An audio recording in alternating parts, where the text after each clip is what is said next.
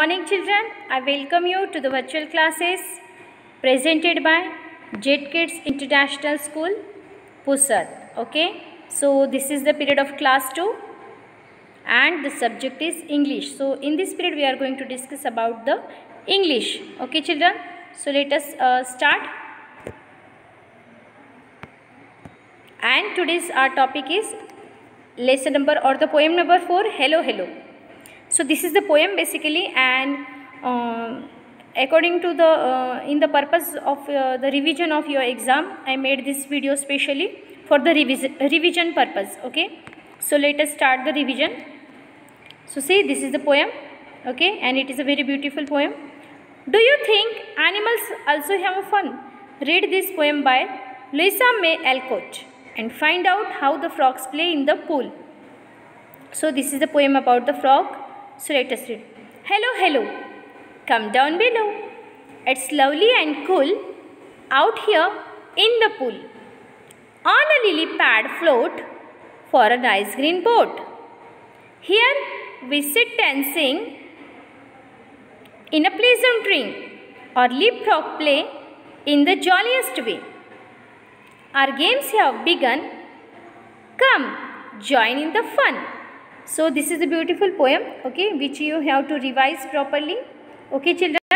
Now let us see uh, this poem in detail. So one by one we are going to discuss the stanza. So this is the first stanza, okay. Hello, hello. Come down below. It's lovely and cool out here in the pool. So here is the word uh, in the oranging pool. Pool means what? A small area of still water. Still water means the water is not moving on it. We cannot say moving. The water is not flowing. Okay? Like uh, it flows in the river. Okay? Um, or a pond we can say. Pool. So uh, here. Hello hello. Come down below. It's lovely and cool out here in the pool. So the frogs are saying come down here in the pool or in the pond. And it's a very lovely the nature is very nice. The atmosphere is good. The nature is beautiful. And um, let us um, uh, do the fun let we will play. The like the discussion is there bit, uh, between the among the frogs okay? So they are inviting in the pool to play to have uh, to enjoy. So now see this is the second stanza. On a lily pad float for a nice green boat. Here we sit and sing in a pleasant ring okay? On a lily pad float. Now what is meant by lily pad? Lily pad means here in this poem the meaning is a floating leaf of a lily okay of, of a plant lily. Floating means the leaf is floating on the water okay and that is called as lily pad. Lily pad means the mm, the leaf is uh, of lily plant and that's why it is called as lily pad. So lily pad float because on the water the um, leaf is light weighted and it floats just for a nice green boat. And uh, for the frog it is like a boat. Okay the things. And generally we use boat. Okay uh, boat is floating on the water and we use uh, to travel um, uh, to uh, in the boat. Okay so the frogs are traveling and their boat is like a lily pad.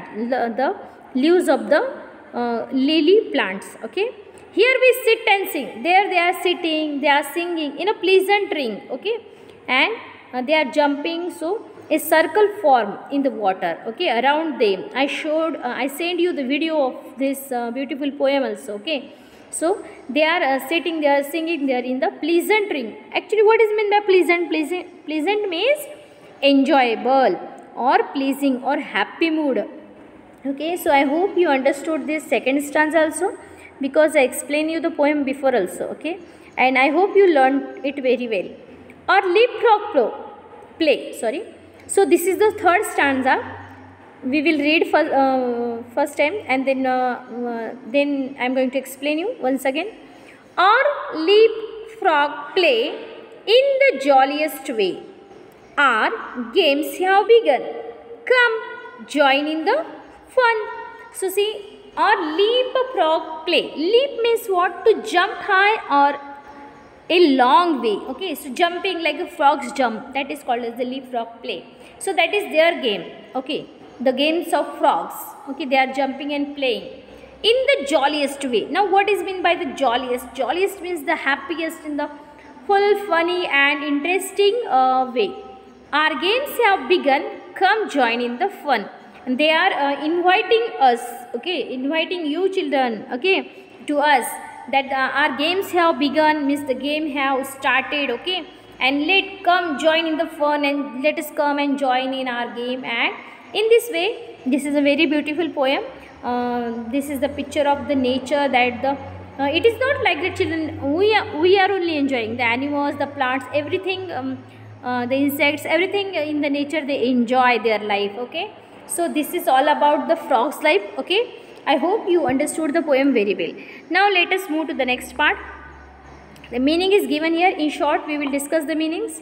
Pool means a small area of still water. Still means stable or a pond. Lily pad means here a floating leaf of a lily.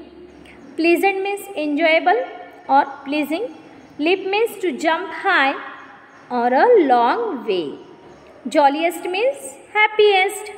Now, see, uh, again there is a comprehension part is there means question answer. So, in that question A, they have given us the true or false.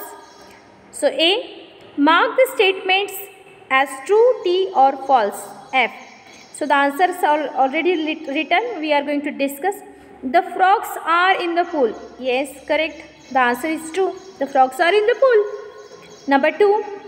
The frogs sit on the lily pad. Yes, this is also correct because we have discussed the poem now only. So, you know that the frogs are sitting, they are singing and they are playing there. Okay, and they are sitting on the lily pad. Okay, on the lily leaves. So, this is also true. Number 3. The frogs are very sad. No, this is the completely wrong statement. This is a false statement. The frogs are very happy. They are in a pleasant mood. Okay, so this is the false. Number 4. The frogs are inviting someone to come and play with them. Yes.